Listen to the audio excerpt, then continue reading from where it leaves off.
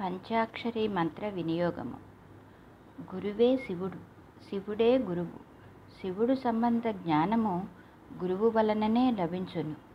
గురువు తనకు సమీపమునందు ఉన్నచో మూడు సంధ్యలలోనూ శిష్యుడు గురువును పూజింపవలెను. శివుడు ఎట్టివాడో మంత్రము అట్టిదే. మంత్రము ఎంత మహిమ గలదో గురువు అంతటి ప్రభావము గలవాడే. అందువలన శివుడు మంత్రము గురువు సమానులే. గురువు గుణవంతుడు కాకున్నను ఆయన ఆజ్ఞను ఉల్లంఘించరాదు. గురువు సమక్షమున కూర్చొనుట రాకపోకలు సాగించుట భోజనము చేయుట పడుకొనుట మొదలైనవి గురువు ఆజ్ఞతోనే చేయవలెను. ఆయన సమక్షమున ఇచ్చా ఇచ్ఛానుసారము కూర్చొనరాదు. పాపుల స్నానము స్నేహము చేత భక్తుడు పర్తనమైనట్లే గురువు వలన ధర్మప్రాప్తిని పొందగలడు. పాపములను తొలగించుకొనగలడు. ఎన్నడను గురువును మనస వాచ కర్మణ నిందింపరాదు. గురువును నిందించిన నరకము కలుగును.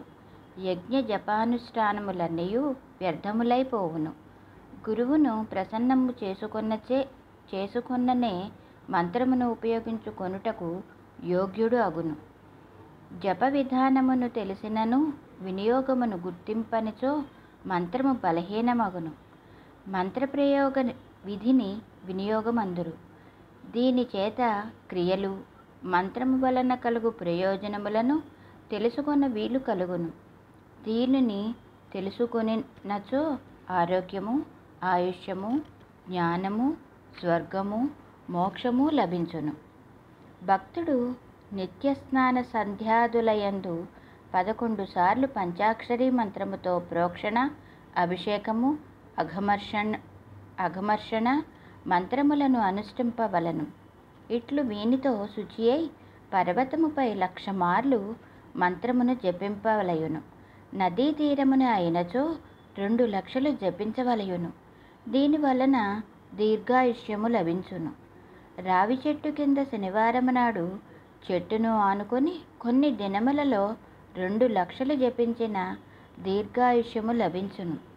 మంత్రముతో నేయి గాని దుర్వాంకురములు గాని పదివేలు హవనము చేసిన ఆయుష్యము పొందును. శనివారం నాడు రావి చెట్టును రెండు చేతులతో సృశించుచు నూట ఎనిమిది సార్లు జపము చేసిన అకాల మృత్యువు కలుగదు. దీర్ఘాయుష్యము లభించును. సూర్యునికి ఎదురుగా ఎతటనైనను నిలబడి లక్ష మార్లు జపించినను. జిల్లేడు కొమ్మను నూట ఎనిమిది సార్లు హోమము చేసినను. రోగములు తొలగిపోవను. సర్వరోగ నివారణకు మోదుగ సమిధులను వేయి పర్యాయములు హోమము చేయవలను. ప్రతిదినము పంచాక్షరిని ఎనిమిది వందలు జపించి ఆ జలమును సూర్యుని ఎదురుగా నుండి త్రాగిన ఉదర రోగములు పోవును. శివ పంచాక్షరితో పదకొండు సార్లు మంత్రించి ఆహారమును పానీయమును స్వీకరించిన అవి అమృతతుల్యలగును. ప్రతిదినము పూర్వ పూర్వాహ్నమున అగ్నికి నూట ఎనిమిది సార్లు నెయ్యితో హవనము చేసి లక్ష మార్లు జపము చేసి సూర్యునికి నమస్కరించిన సంపూర్ణ ఆరోగ్యము లభించును. నదీ జలముతో నిండిన పెద్ద కలశమును తాకుచూ పదివేలు మంత్రమును జపించి ఆ నీటితో స్నానము చేసినచో వ్యాధులన్నీ శమించును. నిత్యము ఇరవై ఎనిమిది సార్లు అన్నమును అభిమంత్రించి ఇరవై ఎనిమిది సార్లు మోదుగ సమితులను వ్రేల్చిన ఆరోగ్యము కలుగును. సూర్యచంద్రన గ్ర సూర్యచంద్ర గ్రహణ సమయములలో ఉపవాసముతో సముద్రముగామి అందు అందు నదిలో నిలబడి గ్రహణము వీడు వరకు పంచాక్షరిని జపించిన సంపూర్ణ ఆరోగ్యము లభించును. సరస్వతి ఆకు రసమును పంచాక్షరితో వెయ్యి ఎనిమిది సార్లు మంత్రించి త్రాగిన ధారాళమైన ప్రవాహము వంటి వాక్కు కలుగును. పదివేలు జపించి ఎనిమిది వేలు హవనము చేసిన గ్రహ నక్షత్ర పీడలు నశించును. దుస్వప్నము వచ్చినచో మేలుకొనగానే స్నానము చేసి పదివేలు జపించి నేయితో ఎనిమిది వందల సార్లు వ్రేల్చిన ఆ దోషము దూరమగును. చంద్ర సూర్యగ్రహణ సమయములందు శివలింగమును అభిషేకించి పూజించి పదివేలు జపించిన అన్ని కోరికలు తీరును.